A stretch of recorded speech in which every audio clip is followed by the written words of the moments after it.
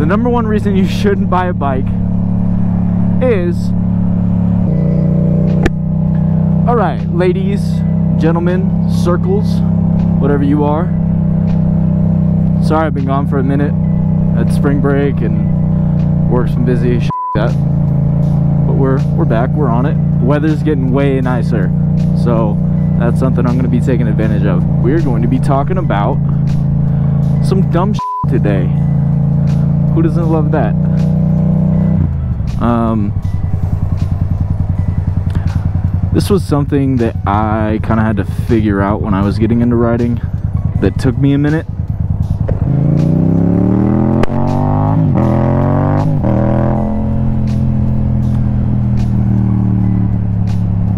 I think it's something that kind of affects every young fella that wants to get into riding. And as far as I know, that's pretty much my whole demographic right now. So I love talking to you guys. I love reading the comments and whatnot. But you guys are at risk for simp syndrome when it comes to bikes. I don't know if that's really the best way to describe it, but that's what I'm gonna run with for now. Is here's the thing. The number one reason you shouldn't buy a bike is to impress women. Here's the thing. What I see happen a lot is you have dudes who will buy a bike thinking it's going to get them a ton of bitches from day one. And that's not really how it works. My opinion on it is that bikes can work really well if you want to get girls. However, it's like that's not why you should want to ride. You should want to ride because you love it. And because like there's just just something in your head that says bike. I need one. I want a bike. Um but like bikes can be kind of an interesting thing. You know, they add to you as a person. That's kind of an interesting thing. Not a whole lot of dudes ride motorcycles, you know, in totality of the United States populace, I guess, you know. So saying that you can do that is kind of neat. My rule when it comes to bikes is very simply if you want to use your bike to get girls, you have to be the type of guy that can already get girls without a bike. And what I mean by that is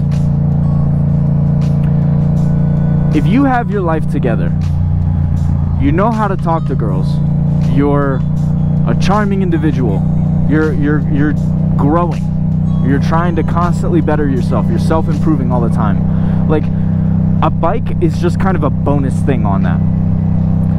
But if you're a fat, lazy piece of shit that isn't really going anywhere with their lives, I'm sorry to be blunt. I know it's probably gonna hurt somebody's feelings, but I'll be I'll be honest with you guys. Like if you're just some fat dude and you kind of work a dead end job, you're not really going anywhere, and you just smoke weed all day, like all the bike does is just try to mask those problems.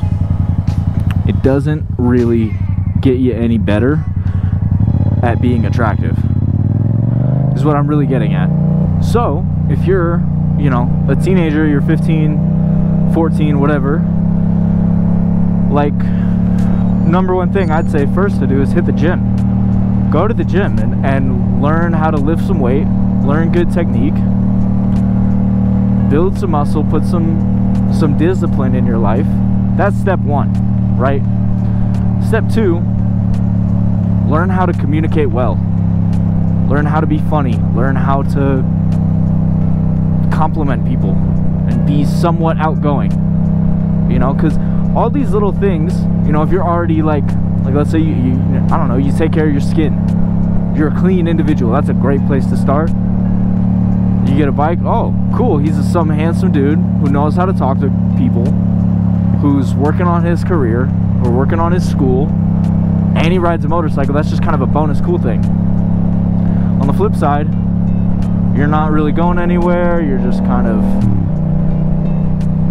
you know, just a dude and you're like, oh yeah, I can't get any girls right now, but just wait until I get a bike. No, no, no, no. It's kind of like money. Like if you're a dork and you end up getting a lot of money, it doesn't necessarily mean that girls find you more attractive. You're still the same person, it just amplifies those things, those traits that you already had. Because now you can be a dork. You, now, now you're just a rich dork. You can be a dork at a higher level.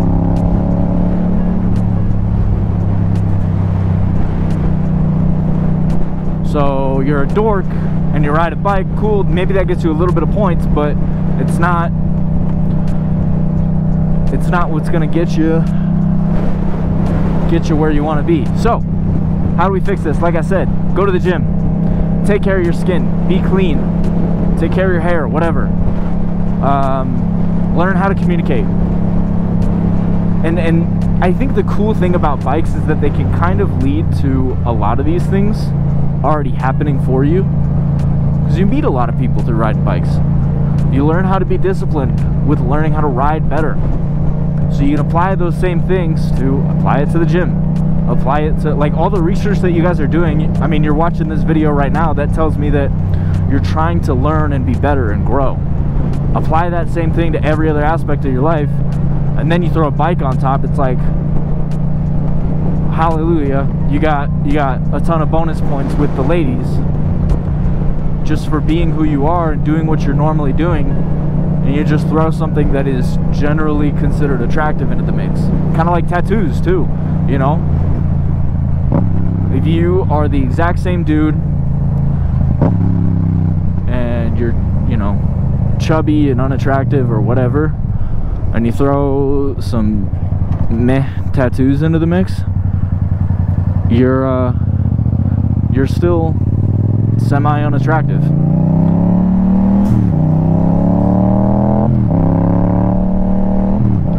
Now you're just an unattractive dude with tattoos.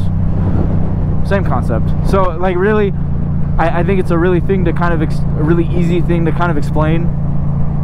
But it's a it's a mistake that a lot of guys make when they get into riding is thinking that oh my gosh, I'm gonna get this harem of women when I buy a motorcycle and it's just not the case.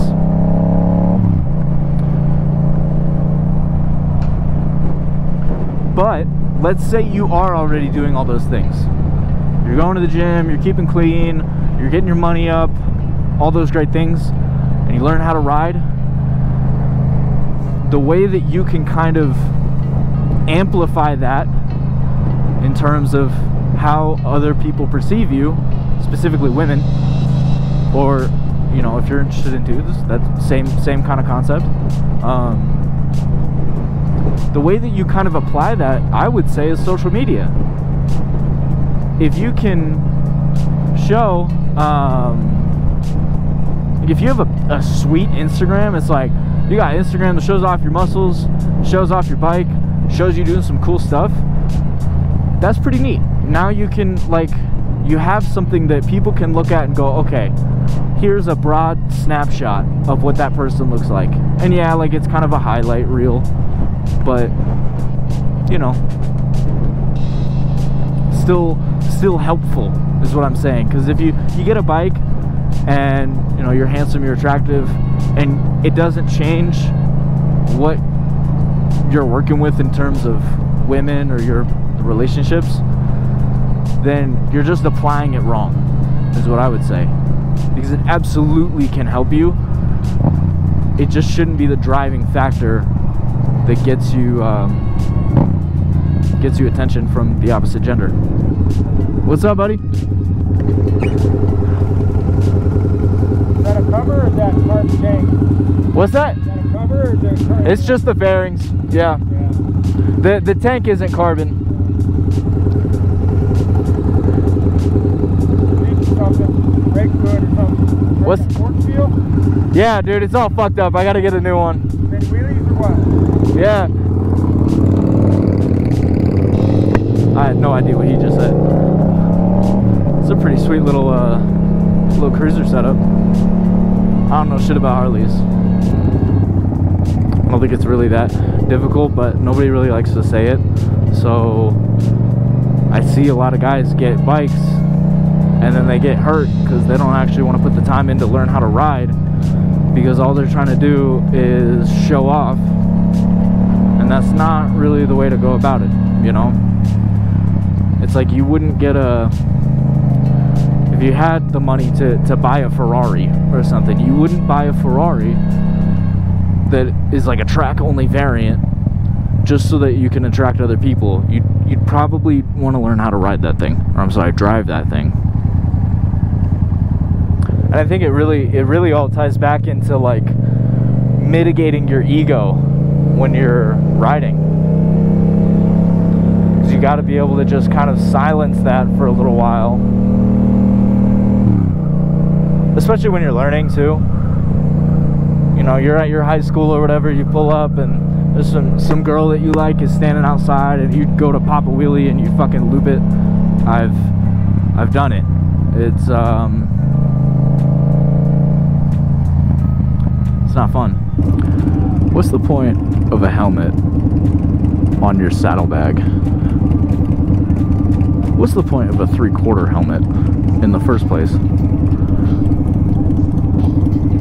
I do like that van though. Anybody else just want to like buy a camper van or a van like that, turn it into a camper and just, I don't know, just leave? Be kind of a neat, neat lifestyle for a little while. Anywho like i said um, i've been super busy lately. Work stuff spring break. Um, i turned 20 the other day so that's weird. I just feel a little bit older. But um, you know all good things. All good things. I like that you guys are enjoying the videos. I hope you are. Um, i hope it's it's helpful to some of you guys. I like reading those comments that are you know they're encouraging to me for sure and they're also uh, indicative that I'm actually helping people with some information that is useful. Um, so if you did find whatever I say useful, you know, stick around. I'll talk about some other fun things. But really, right now, I'm just kind of talking to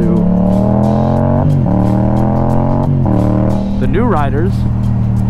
Because you guys are the guys that need the most help with stuff, whatever it is. So put in the comments things that uh, I should talk about, and I'll talk about them. Um, there was a comment about maintenance that I saw. Somebody wanted me to talk about how to how to maintain your bike well and all that. So that'll be coming at some point because I, I actually got to replace my clutch cable. But we'll, we'll go over some general maintenance rules that I kind of follow. My bike is sitting at 60 something thousand miles an hour. 60,000 miles an hour. 60,000 miles on the odometer. Um, so you know I, I think I've, I've maintained this engine fairly well. Like the other gentleman so graciously pointed out my fork seals are boned right now and I've just been too lazy to go buy the tools to fix it So I gotta do that at some point, but